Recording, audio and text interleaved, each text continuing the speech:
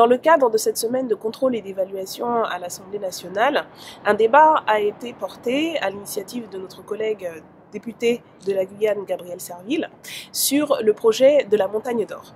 Nous avons, au sein du groupe de la France Insoumise, posé un certain nombre de questions au ministre de la Transition écologique, François de Rugy, sur la décision qu'il comprend euh, par rapport à ce projet qui est aujourd'hui contesté par une majorité euh, de la population, des associations et euh, un grand nombre d'ailleurs aussi de groupes parlementaires. Monsieur le ministre, les données sont simples et claires, ce qui devrait vous permettre de trancher sans s'embarrasser d'excuses sur la complexité.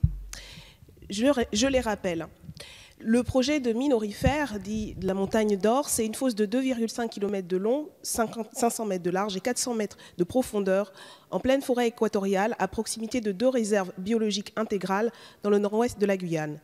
Ce sont 420 millions d'euros d'investissement public, dont l'impact économique apparaît bien incertain et dérisoire. On parle de 750 emplois directs sur 12 ans dans un territoire où 12, 19 000 personnes sont touchées par le chômage d'autant plus au regard de ses conséquences écologiques et sociales désastreuses. 47 000 tonnes de cyanure déversées, 57 000 tonnes d'explosifs employés, 2 000 hectares de forêts de forêt détruites.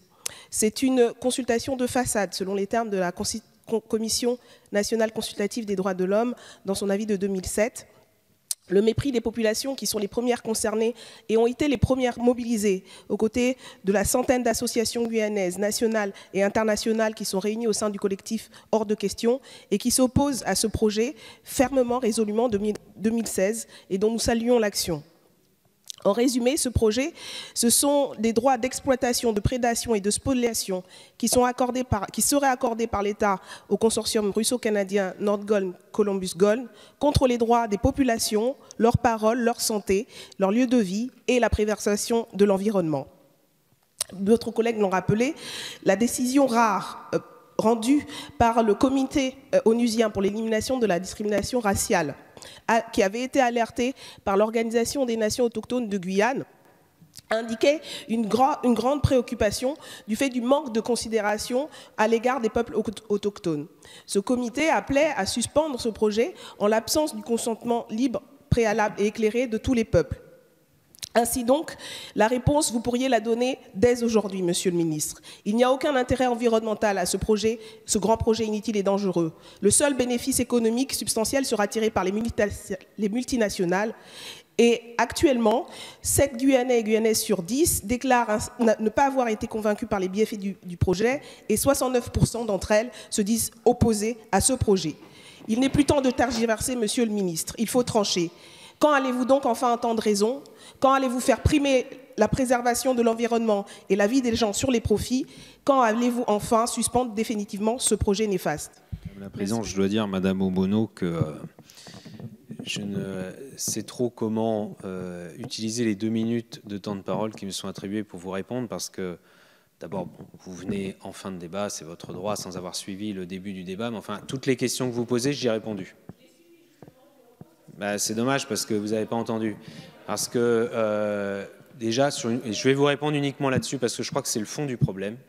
C'est qu'avec vous, tout est toujours simple. C'est le bien contre le mal il suffit de choisir le bien pour qu'il triomphe du mal. Et toutes vos expressions sont dans ce sens-là. J'ai noté hein, votre, première, votre première phrase les données sont simples et claires, il suffit de trancher. Et ensuite, vous égrenez hein, euh, le mal et il suffit que les forces du bien se lèvent pour triompher des forces du mal. Et les forces du mal, c'est les capitalistes prédateurs, etc. Les 750 emplois, vous les citez quand même pour mémoire, vous dites, c'est rien du tout puisqu'il y a 19 000 chômeurs. Alors, je sais pas, il y a d'autres endroits, voyez-vous, où on fait un peu attention sur 750 emplois. Moi, je peux vous dire, pendant qu'on parle là, il y a eu, vous pourrez aller vérifier, c'est une dépêche de l'agence France Presse, euh, une agence d'État, hein, c'est pas le capitalisme prédateur.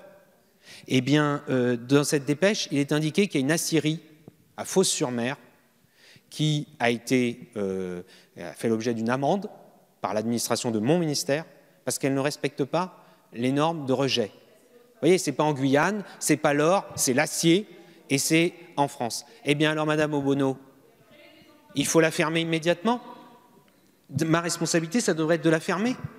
Parce qu'elle ne peut pas réduire immédiatement ses, rejets et que ça dure, vous pourrez demander à des collègues députés qui, eux, travaillent sérieusement sur le sujet depuis des années de la pollution.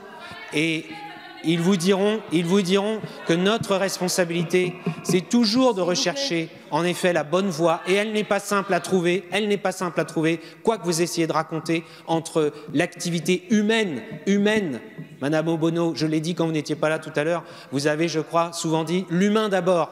Eh bien, l'activité humaine, des activités pour les humains, pour qu'ils gagnent leur vie, qu'ils trouvent du travail, qu'ils puissent faire vivre dignement eux-mêmes et leurs enfants et leurs familles, et la protection de l'environnement. Et moi, je n'oppose pas les choses, mais quand il faudra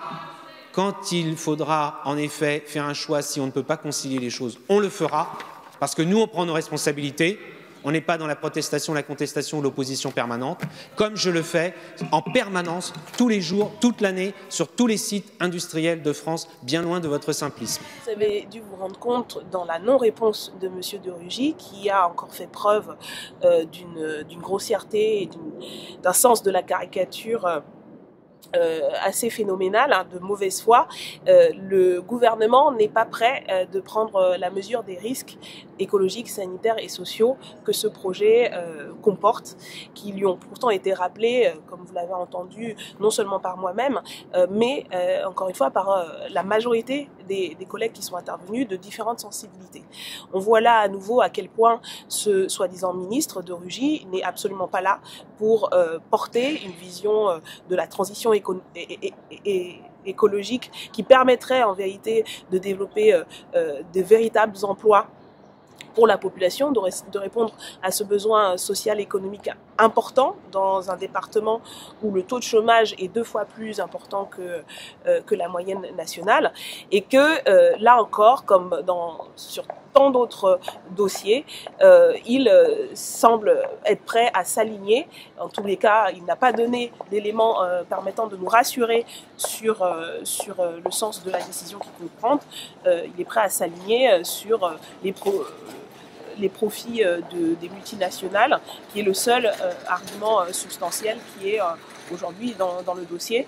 Et là, on voit euh, à nouveau l'impasse dans laquelle nous mène euh, ce gouvernement et ce, ce, ministre en matière non seulement de protection des populations, de protection euh, de l'environnement, mais également de développement économique des territoires.